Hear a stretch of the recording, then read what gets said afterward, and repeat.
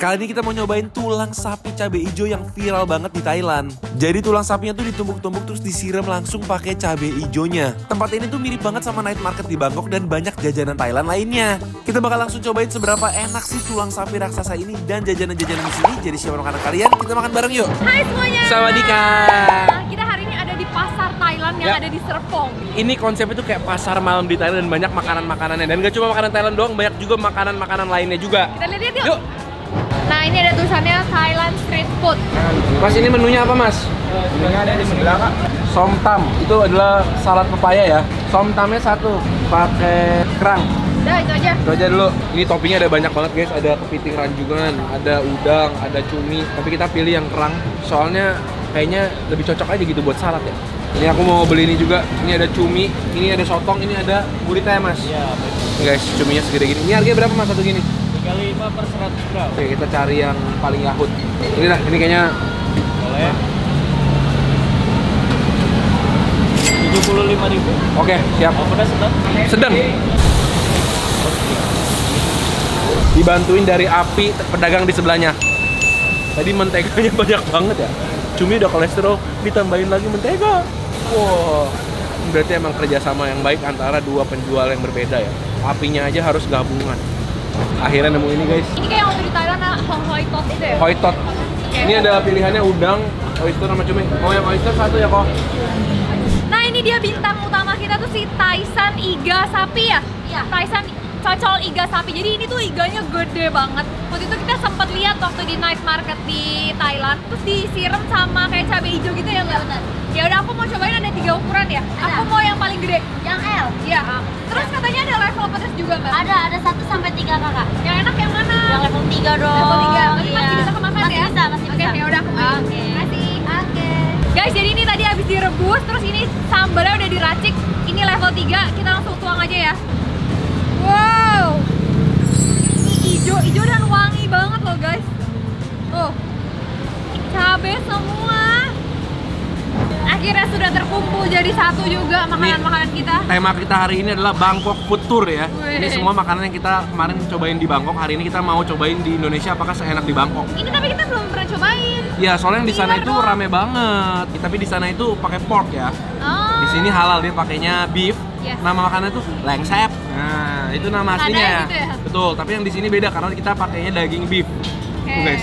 Ini ukuran yang large, harganya 145.000. Betul. Terus kita juga udah dapetin tadi ada Thai salad juga. Iya.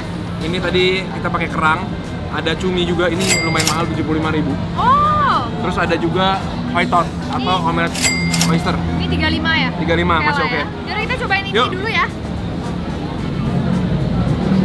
Jujur guys, tadi aku ngeliat ini lumayan shock karena kemarin pas dari Jogja 150.000 dapatnya tuh segede bayi guys. Iya, Hampir gede 2 kilo. Nah, di sini 75.000 dapatnya cuma kayak cucunya ya. Yaudah cobain aja lah.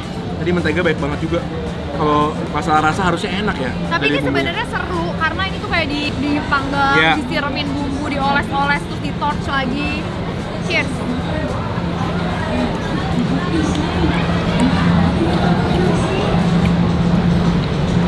Cuminya oke, Eh, empuk, smoky, nggak terlalu empuk banget ya, ada alotnya dikit. Iya. Karena tadi proses bakarnya cukup lama dan bumbunya ini kayak aku bingung arahnya sih, kayak mau manis atau mau pedes. Karena dia manis enggak, pedes enggak gitu kayak di tengah-tengah. Makan pakai nasi enak sih. Enggak. Kalau Dia- kayak gini bagi aku agak sedikit asin. Iya, iya, iya. Kuatnya di rasa menteganya atau margarinnya. Ya. Dan ada wangi ladanya juga. Yang harga Jakarta lah ya. Kita lanjut ke white totnya ya. Ini tadi ada sausnya loh, dikasih sambal. Oh gitu. Ya. Ini ya sambelnya ya? Iya. Oke. Tapi aku ngerasa kok ini rada agak matang banget ya. Oh. Telur-telurnya kayak kurang rani gitu. Uh guys, Uh. tapi kita jangan judge dari penampilan, kita judge dari rasa. Ini tadi udah pakai oyster juga. Coba dulu. Ini ada togenya juga, ada, ada daun bawangnya juga. Ya lengkap sih. Oh, gede banget. Nih guys, kita coba. Makan bareng guys. Cheers, makan bareng. Hmm, enak. Enak? Wangi smoky banget ya? Iya, nggak terlalu amis karena dia masaknya lumayan lama. Cuma- Jadi si oysternya udah mateng banget. Cuma aku ngerasa terlalu manis sausnya. Sausnya ya. Aku mau yang nggak ada sausnya.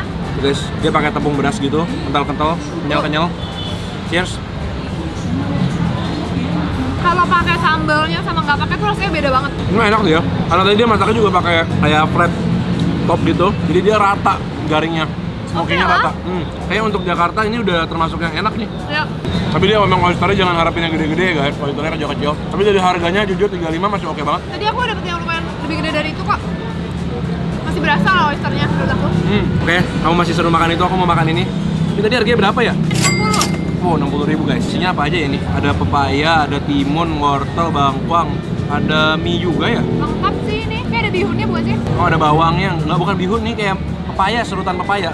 Ada jagung. Kita pesen tambahan kerang tuh 25.000 jadi asli harganya 35. Iya, iya, benar. Oke guys, kita coba ya.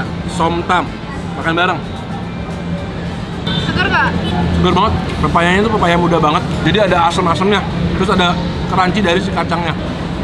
Langsung nonjok dengan asam dan segar pedasnya itu ya. Guys.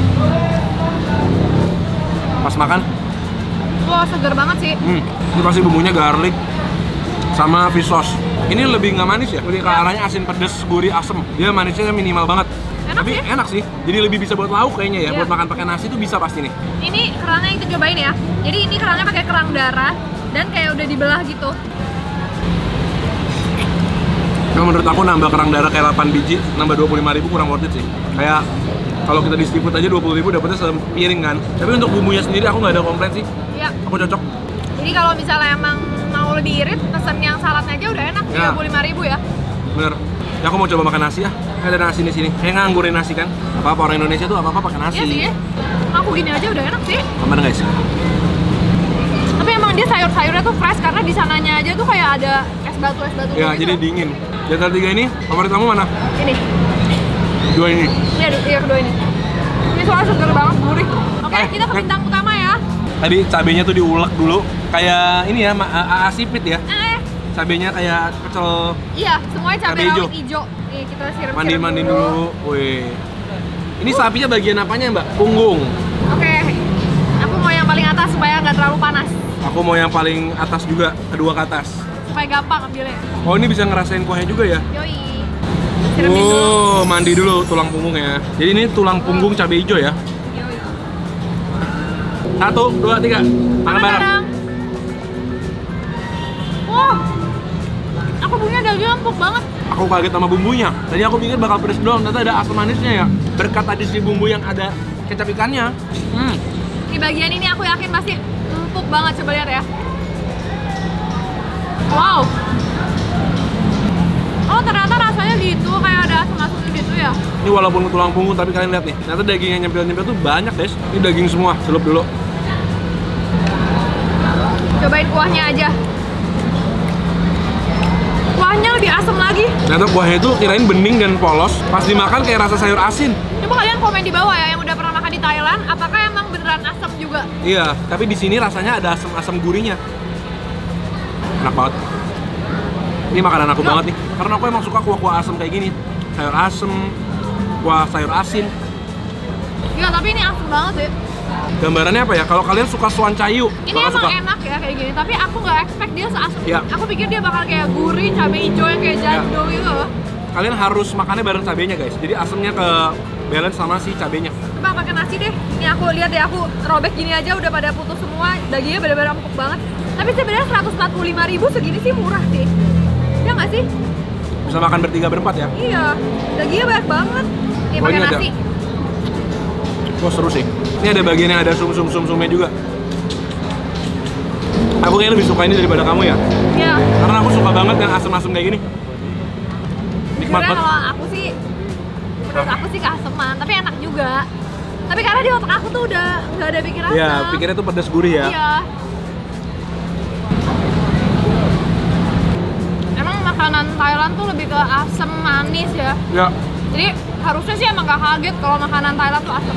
Oke guys, ternyata seru banget nyobain si cocol iga sapinya Thaisan yang emang seru banget. Hmm. Buat kalian yang ada ide makanan lainnya yang mau kita cobain, jangan lupa tulis di komen di bawah supaya kita cobain juga. Kita ketemu lagi di video-video berikutnya guys. Selamat makan. Ini bersih ya. tuh. Bersih banget tuh. Wow.